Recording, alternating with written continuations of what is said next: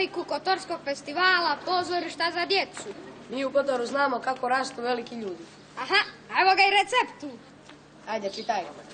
Jedan nos od Pinokija, dvije duge čarape, jedna voćka Ma čudnava. šta pričaš? Daj meni života. Kakvi nosi.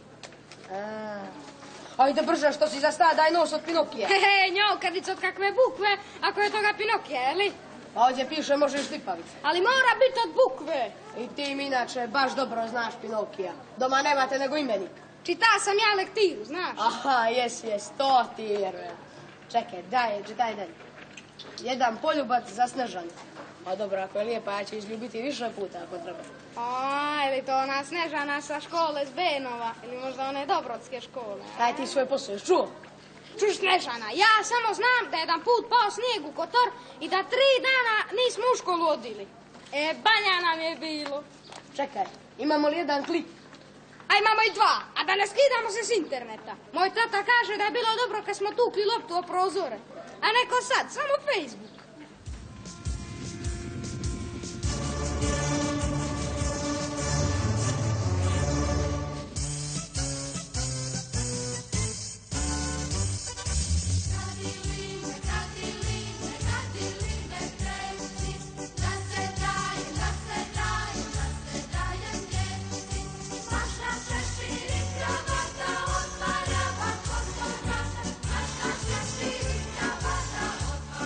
Igra je počela, a sa njom 21. Kotorski festival pozorišta za djecu i peti međunarodni Kotor Art. Sljedećih deset dana Kotor će biti grad djece, pa ćemo njima po tradiciji na čuvanje povjeriti ključeve grada. Kotorski trgovi i pijacete postaće razigrane scene za još jednu bajkovitu priču u kojoj će uživati djece i mladi, ali i svi ljubitelji pozorišnog života. Draga djeco, moji kotorani i poštovana gradonačelnice, vrlo mi je drago što od sve djece, a u njihovo ime baš ja primam ključeve grada. Mnogo sam srećna i počastovana što je na meni tako velika odgovornost. Znajte da su ključevi u dobrim rukama i da će za ovih deset dana Kotor biti obasjan srećom i osmjesima. Kotor Art je otvorio, ali ga i zatvara Kotorski festival pozorišta za djecu. Poruka je jasna. To je e, jako lijepa poruka i e, nešto što daje i posebni osjećaj odgovornosti i prema ovako značajnom festivalu što je Kotor Art od međunarodnog interesa peti je po redu i e, u odnosu i na obljetnicu 200 godina rođenja Njegoša. Naš moto dječjeg festivala ove godine kako rastu veliki ljudi sa tom idejom i sa time da ćemo barem malo doprinijeti da takvih značajnih ljudi uskoro imamo u budućnosti u našoj Crnoj Gori. Evo, radimo sve ovo što radimo.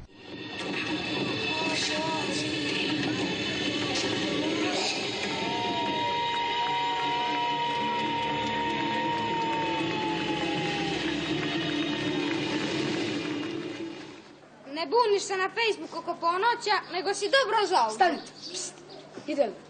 Ček da čujem. Stani, ne mogu od tebe kako dišeš, ne diši, ne diši. Biće opet na teracu oko gradela. Ili u Betulu po Bevanu. Ajde, diši, diši, diši, ja da ne bije. O, Bože moj. Treba nam jedna crvenka pa. Ima, a, imam ja trenerke doma. E, baš si pametan. Ona ti selektira ništa nije primila. Ma da vidi imamo li u tu korpu što crveno sem čipule. Kako ću ja ruku tu proturit? S onom crvenkam pomije da je onaj vuk. Još mu kužinu, pa ne bi da me ispeta. Ali, evo, evo, evo, evo, jedna crvenka, pa nego su i nekakve silne gusjenice s njom. Pa, e, to, pa to su te tri tone. No, ko će mjeri ta čuda? Aj, bit će da je tačno, znaš. Svakodnevni život je igra kojoj se treba diviti, čuditi i prepustiti. Mašta je često važnija od znanja. To djeca znaju, a znaju i oni veliki, odrasli koji stvaraju zbog mašte u djetetu koji maštu bude ako se ponekad u ovom čudnom svijetu uspava. U Kotor je zbog mašte i djeteta stigla i Crvenkap. Nije dugo putovala. Stigla je sa fondacijom Ćano Koprivica i Nikšićkim lutkarskim pozorištem Šćučkin. Do sada smo igrali samo u Nikšiću I u Nikšiću super reaguju djeca. Prvo, djeca su srećne u Nikšiću da uopšte imaju mogućnost da gledaju predstave i da e, imaju sada neku svoju scenu. Predstava je još jednom pokazala da je lutkarstvo ekran magične mašte i da pripada carstvu dječije. Iako je prvi put da ja radim nešto ovako, moje vajarsko iskustvo je pomoglo u stvari da ih napravim. I e, lutke negdje, to je ono što djeca u stvari, što nas sjeća na djetinstvo, ali tako, lutke. E pa, kao i odrasli ponekad vole da se igraju s lutkama, jel? Djecu igrajte se, uživajte i to je suština. Ne sjedite samo pored računara. Crvenkapu sva djeca svijeta poznaju, ali ova je malo drugačija, hrabra. Predstava je pokazala djeci. Kodan treba da se boje bilo čega i da se suprotstave bilo čemu snažno i, i, i, i nekako sa osmijehom. Ili prosto da zavole Vuka. Ili prosto da zavole Vuka, da. Pa moramo da priznamo da je ovaj naš Vuk šarmantan, nema šta. Da su djeca šarmantnog Vuka zavoljela, istina je. Je li se tebi svidjela ova crvenkapa? Da. A zašto ti se svidjela? Šta ti se najviše svidjela? Bio mi je Vuk. Je li Vuk strašan? Nije. I treba li da se dijete plaši Vuk? Ne. Treba dijete šta da bude? Kakvo dijete treba da bude? A ne smijemo se plašiti Vuka. Voliš li ti da ideš u pozorište? Da. A zbog čega ti voliš da ideš? Šta ti se najviše sviđa? Predstava. A šta je to predstava? Predstava je... Predstava je što ima Vuk i Teveka pa i baka. A kakva je ova naša crvenkapa? Lijepa. A treba li djeca da se plaše Vuka? Ne. Nego kakva djeca treba da budu? Mi se Vuk. A zašto Vuk? Zato što plaši svakoga. A ti si, jesi li se ti uplašio? Ne. Kakav je to Vuk kad tebe nije uplašio? Pa plaše drugi, ali mene nije. Znači da je to neki tvoj Vuk. Drug mi je. Kako je biti drug Vuku? Pa lijepo. I šta vi sve radite? Pa zašto nije bio pravi, nego onako igračka. Voliš li ti pozorište? Volim. Čarobna djeca rastu u Kotoru uz Kotorski festival pozorišta za djecu, uz Crvenkape i neke druge priče. I sve ta djeca znaju da treba biti hrabar, dobar i lijep, ali i da ne treba lagati. Na to ih je podsjetila predstava Pinokio gradskog pozorišta iz Podgorice. Kako zoveš ti? Pinokio. Pinokio? Aha. Ime, prezime, ime oca, adresa. Adresu ne znam. Zato mi se zove Đepetu. Đepetu? Ona je Blentevi, izumitelj gluposti Đepetu. Znamo, teško je biti uvijek dobar, postati pravi dječak kao Pinokio, postati čovjek, ali se moramo truditi i izbjegavati prevare i laži. A sve se može jer želje pomjeraju svijet, ljubav stvara čuda, a prijateljstvo čaroliju. Jedan od zadataka pozorišta je, pored toga što djecu treba da naučimo da je kultura veoma važna za naše življene, da iz ovih predstava izvuku neku pouku, da, um, da budu malo kvalitetniji ljudi kad izađu s predstave. Hrabrost je jako važna i prijateljstvo i dobrota. I da slušamo svoje roditelje i svoje prijatelje i da idemo u školu i da jedemo doručak. Sve je to jako važno. Kad te vode srce i um čisti,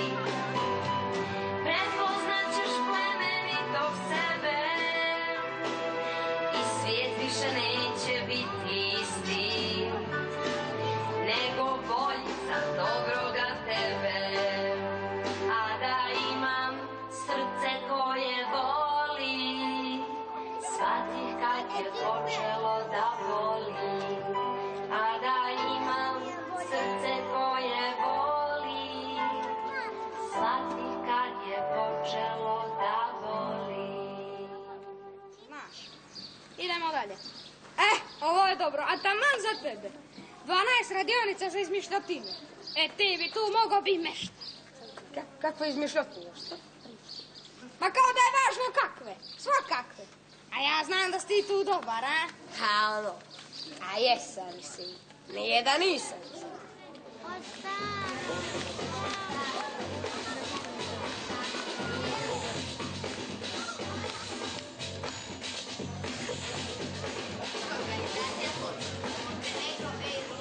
Gosti u Kotor stižu sa svih strana, kako bi nas naučili da budemo prijatelji, da veliki ljudi rastu na velikom odmoru i da se od čitanja raste, ali i da ne sumnjamo u sunce koje se ponekad iza oblaka krije.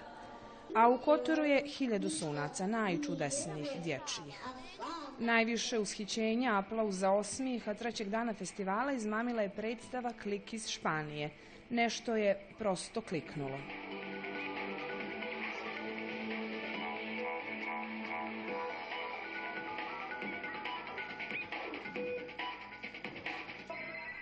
U pitanju je instant sreća klik, do koje se dolazi pomoću vode, sapuna, krugova.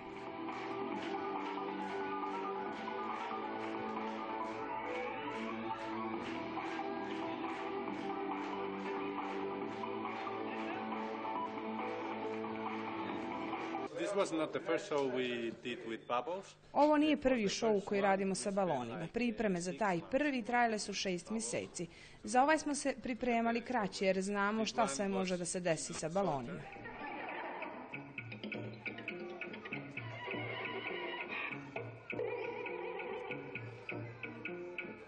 You see the Kad vide balone, nebitno djeca ili odrasli, uvijek se oduševe.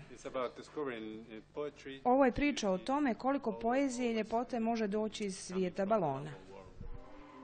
Klik je predstava o ljepoti, o radosti, priča o tome da treba da razmišljamo vedro, pozitivno i šereno. A ko to može bolje od djeteta?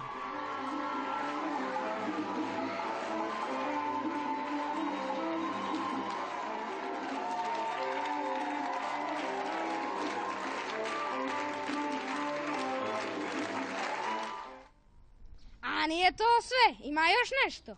Jedan ludi kamen. Aha, evo ga. Uzeo sam ga od sestre, stala bila na njega i jedva sam je goteo. Pa se sad nikad možda neće udat. E, A, jedna voćka čudnovata. A možda bi mogao koji šipak sprčnja. more soli, a da to neće biti preslano. A da neće ti ništa fali deset dana, đaole. Zoje strava. Čitaj dalje. Zrno samoće. Samoće. Piše, pazi da zrno bude samo jedno, jer ne valja da se po samoći osjeti, nego samo malo. Obožavam predstave na kotorske trgove kada djeca vladaju, svi se ljepšem nadaju. Svi se ljepšem nadaju, a zašto? Zato što se na Kotorskom festivalu pozorište za djecu dešavaju čuda. Tamo utočište pronalaze svi protjerani snovi, sve ljubavi i dobre tajne. To je ono mjesto gdje uživanje i gledanje dječje ljepote i sreće čine da ti je srce preveliko za tijelo. A veliko tijelo i srce imaju i kokoške koje su zasvirale kotorskim trgovima.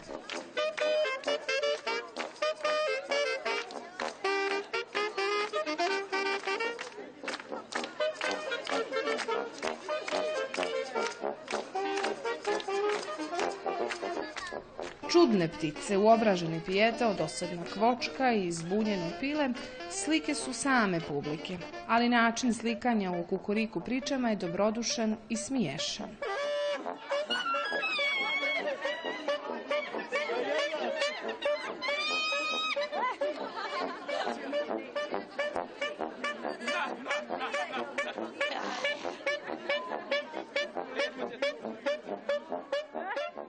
Kad smo se dobro iskokodakali, prešli smo na ljetnju pozornicu na zakazani futbalski meč.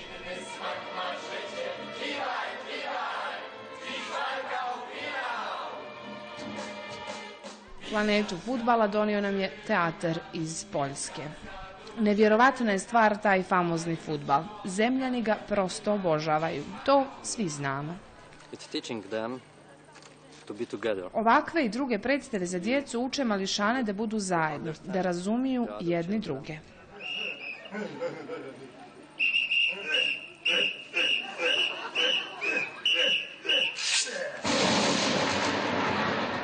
Festivali poput ovoga su sjajna stvar. Ljudi dolaze sa svih strana. U isto vrijeme na jednom mjestu mnogo je različitih ljudi i različitih kultura.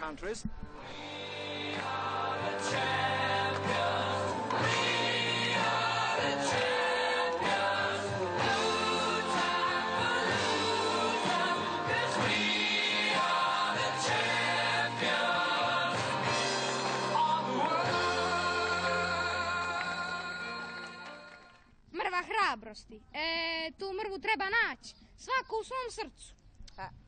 Evo je. Litar i po do dva dobrote. A nije dobrote, nego dobrote, jaule. A, a ja mislio dobrota dobila ime po dobroti. A što nije? Ajde, pusti ti sad dobrotu. Nego mi daje prstohvat nježnosti, šaku vedrine, zagrlja ljubavi. Kaže, bez toga ne može da uspije nikako. Gdje ćemo mi da nađemo taj zagrljaj? Znaš šta ćeš da dobiješ? Šta? Dođi, dođi. Kažu da se pozorište danas sve manje tiče nas samih. Mi u Kotoru ne mislimo tako. Kažu odrasli da čovjek postaje najbliži sebi kada postigne onakvu ozbiljnost koju ima dijete dok se igra. E, to je istina. Na Kotorskom festivalu pozorišta za djecu još jednom je oželjena priča o Snežani. Međutim, junaci nijesu smješteni u začarane šume, ne grizu otrovne jabuke i ne postoje nadprirodni poljupci. U ovoj Snežani data je slika sadašnjice, ukazano je na probleme koje čovjek stvara. Imamo priču za djecu, a imamo i priču za odrasle. Oh, Snežana je tamo. Kako da to napravim, jao? E, Snežana! E, Niko. Zdravo, ne, ne, ne, ne, zdravo, Stevan. Da, da, Stevan, to sam ja. Zdravo, Stevan. No ipak i ova predstava kao skoro sve na Kotorskom festivalu pozorišta za djecu govori šta djeca treba da rade, kakva treba da budu. Nek e, slušaju svoje srce u životu što ih veseli, što ih zanima, pa da slijede to. Da njihovi snovi se mogu uresničiti. I da može oni sve. Na ljetnjoj pozornici odigrana je još jedna predstava, ali ona nije za djecu. Nju su mogli da gledaju stariji od 16 godina. U pitanju je predstava Žabar Kraljevskog pozorišta Zetski dom sa Cetinja. Mi se nadamo da će ovu hroniku gledati ponajviše oni koji imaju manje od 16 godina, zato o Žabaru neki drugi put. Ali treba vam. Jedna Evropa može i stara. Jedan grad Kotor može i stari.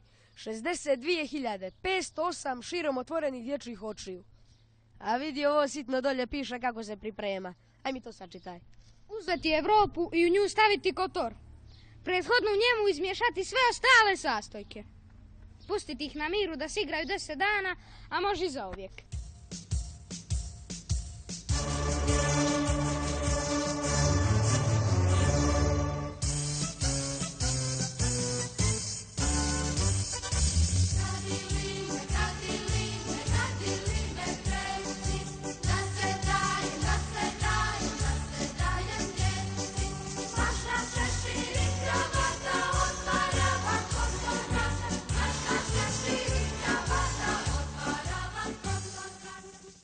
Ah, više smo se umorili od ovoga kuvanja i od ovog voditeljskog posla, tako pozdrav do sljedeće hronike.